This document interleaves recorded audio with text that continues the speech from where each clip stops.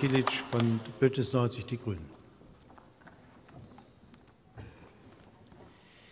Sehr geehrter Herr Präsident, meine liebe Kolleginnen und Kollegen, ich begrüße sehr, dass wir 50. Jahr des deutsch-türkischen Anwerbeabkommens im Plenum des Deutschen Bundestages mit einer besonderen Veranstaltung würdigen.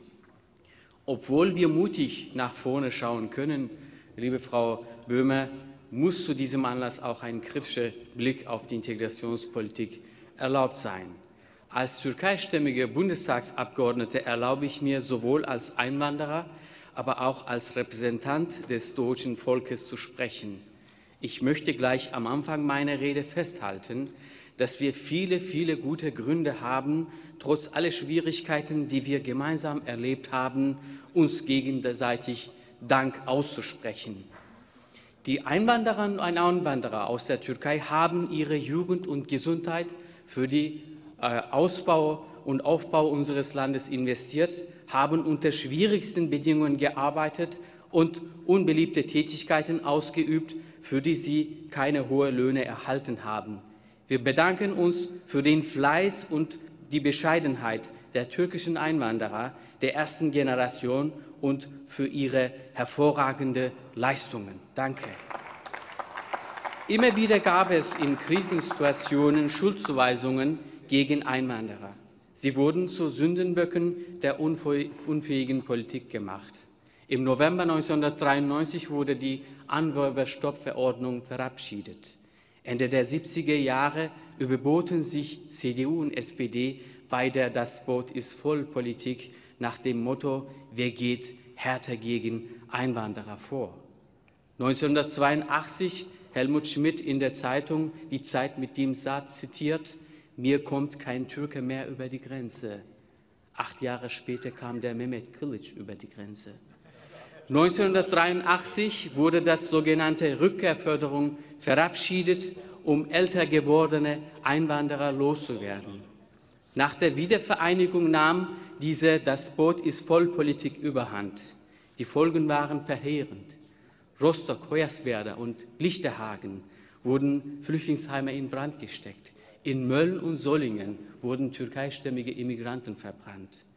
Dies sind die Schattenseiten, die neben den prekären Lebenssituationen wie den alltäglichen Diskriminierungen den Einwanderer in Deutschland das Leben schwer gemacht haben. Dafür muss man sich entschuldigen.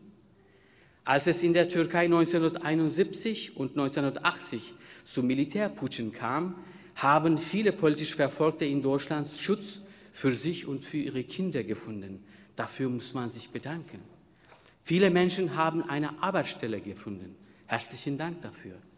Im Jahr 2000 wurde die sogenannte Kinderstaatsangehörigkeit verabschiedet, damit die Kinder von Einwanderern in der vierten und dritten Generation in unserem Land nicht mehr als Ausländer geboren werden, sondern als Staatsangehörige deren Lande aufwachsen können. Herzlichen Dank dafür.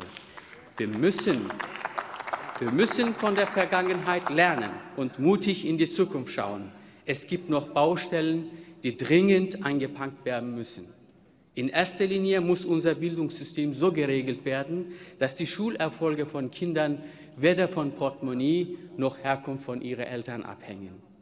Des Weiteren müssen Einbürgerungen unter Hinnahme der Mehrstaatlichkeit erleichtert werden und das kommunale Wahlrecht auch auf Nicht-EU-Bürger erweitert werden. Dies hat schon der erste Ausländerbeauftragte Heinz Kühn gefordert. Es ist ein Armutszeugnis für die Politik, dass das Heinz-Kühn-Memorandum nach 32 Jahren immer noch auf dieselben offenen Stellen hinweist. Schließlich muss Deutschland die europarechtlichen Vorgaben beachten. Das bedeutet zum einen Visafreiheit für türkische Staatsangehörige, zum anderen, dass Deutschkenntnisse nicht mehr zur Bedingung für, die, für den Ehegattennachzug gemacht werden dürfen. Ein gutes Miteinander ist von allen Seiten gewünscht. Dies erfordert aber auch ein entsprechendes gesellschaftliches Klima. Wir brauchen endlich nach mehr als 50 Jahren Anwerbeabkommen ein Wir-Gefühl. Wir können unsere Schwierigkeiten gemeinsam in die Hand nehmen und bewältigen. Wir sind eine Gesellschaft. Unser Schicksal ist unzertrennbar mit dem Schicksal unseres schönen Landes, die Bundesrepublik Deutschland verbunden. Deutschland ist auch unser Land. Als Einwanderer stehen wir dazu, uns als Deutsche finden wir das gut. Bitte mehr Mut und Optimismus, liebe Kolleginnen und Kollegen. Vielen herzlichen Dank.